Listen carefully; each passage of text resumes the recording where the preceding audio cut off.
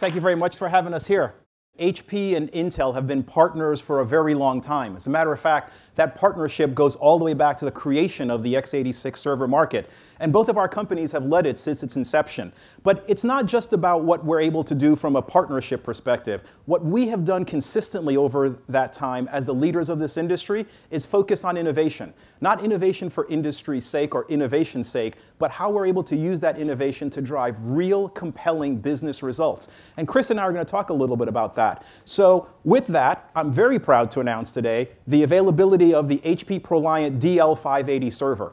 And that 580 server is basically a Gen 8 product. So like everything else Gen 8 that you know and have heard about, it's got all the intelligence, it's got all the automation built in, and as a result, it can deliver industry-leading capabilities, such as a three-month ROI, and also the ability to nearly double the compute per watt of your data center.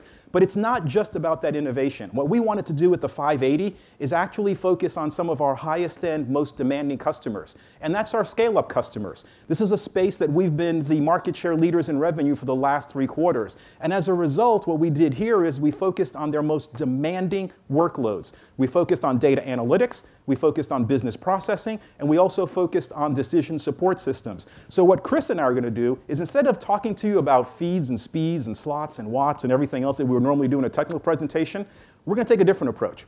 We're going to talk about how a lot of the innovation that we put in place that's unique from HP and from Intel, and with a great partner like Velocidata, are now able to take all of that innovation and drive dramatically different compelling, and in some cases, industry-leading business results. So Chris, tell us a little about Velocidata and what y'all are doing there. Yeah, I'll give you a little background of the company first. Uh, we focus in terms of our customers who are driving data to try to gain huge benefits in terms of operational efficiencies within their corporations, as well, to, as well as trying to get to real-time analytics. And they look to Velocidata to basically offload bottleneck functions that inevitably happen with the volume increase in terms of data, velocity, and varieties. So we have three products, data transformation, data quality, data sort, all built on a HP uh, Intel platform, taking advantage of all the nuances in terms of what they released today. That appliance, in terms of how it works, it basically takes source data from anything you can think of, structured data, unstructured data, streaming data.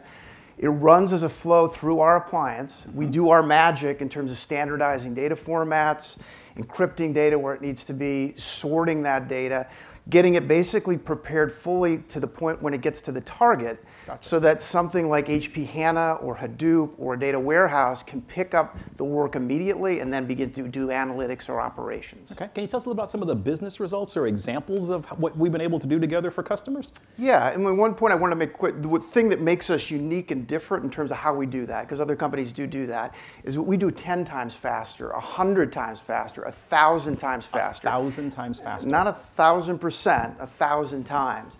And to give an example of the benefits in terms of how customers are using that capability, we have a healthcare insurance company, a mm-hmm. very large one that's grown through acquisitions.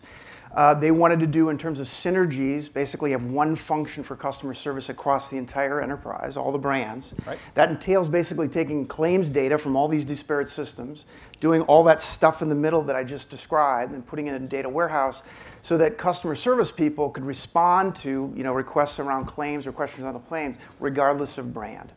So the problem with that right. is that over the years, in terms of the complexity of the data, the transformations, just the volume scale, it was taking 16 hours to actually get wow. that middle part of the work done. And that was being done by a leading product within the industry. Mm-hmm. So we worked with the customer, offloaded those bottleneck issues onto our appliance, which is based on Intel and HP technology, and took 16 hours down to one minute. One minute. One minute.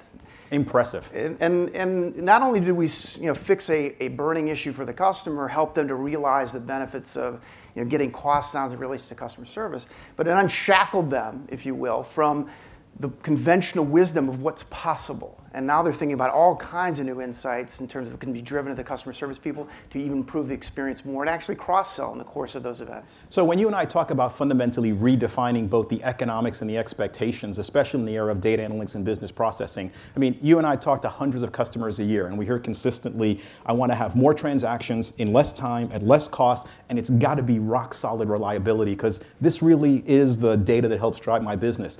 We also hear a lot about performance, efficiency, and reliability. How about another example of where we're helping redefine the industry. I can't think of a better example than financial services. We have okay. a financial services customer that wanted to monetize their credit card data. So that entailed taking a bunch of data off the mainframe, credit card data off the mainframe, putting it into Hadoop. Once there, they wanted to do analytics against the data, try to deduce what was the genesis behind your transaction decisions. Are you getting married? Are you you know, going on vacation, remodeling your kitchen, right. and then sell that insight actually to their merchants uh, as a lead so that in fact those merchants could engage with those customers at the point that they're actually making those buying decisions to hopefully influence them. Gotcha. Now in theory that sounds great and you hear these examples, but practically that was taking with conventional tools 8 hours, 10 hours, 12 hours to actually perform. And it's not that interesting to know why I was buying something at noon when I'm sleeping at midnight. It's got to be on time. It's got to be. It's got to be in the moment. Right. So again, we offloaded those bottleneck functions. We took basically that data or the transformations at wire speeds to allow them to actually realize this service to their merchants so they can engage customers at real time.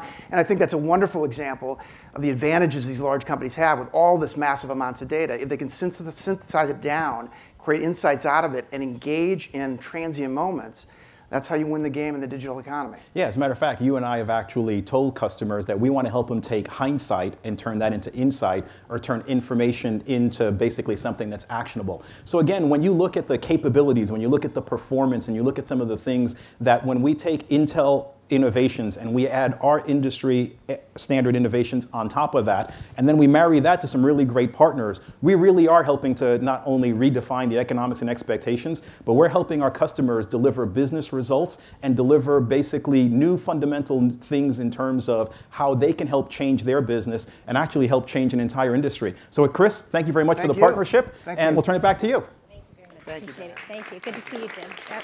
Thank you.